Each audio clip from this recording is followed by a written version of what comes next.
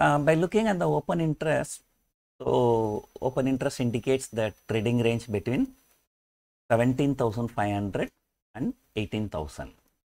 But somehow I feel that this range is not going to hold. So either upside or downside, it will be breached and we will be happy if it is breached on the higher side. And because you know Mr. Sundar is always bullish, always having long positions. So important things to note, FIIs have done net buyers and 40,000 bank nifty put option as the second highest open interest.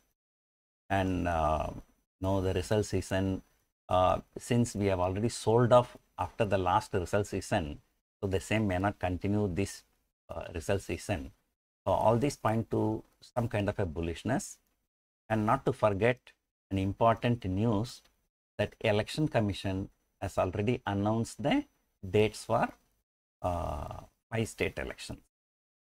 And luckily election counting results counting day was on a working day. It is not on a holiday.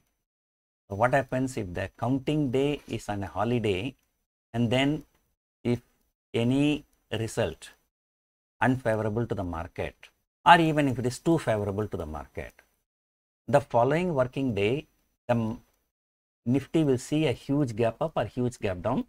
That is actually not good for option sellers. But this time since the election results are coming during a trading day so no such thing will happen.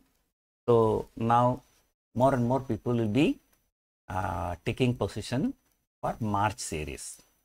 So far option sellers were reluctant to take position in march series because of this so definitely i will also be taking uh, positions in the march series. So let us see uh, there are some plus and minus. The minus is mostly coming from coronavirus front. So let us see what the prime minister is going to speak tonight.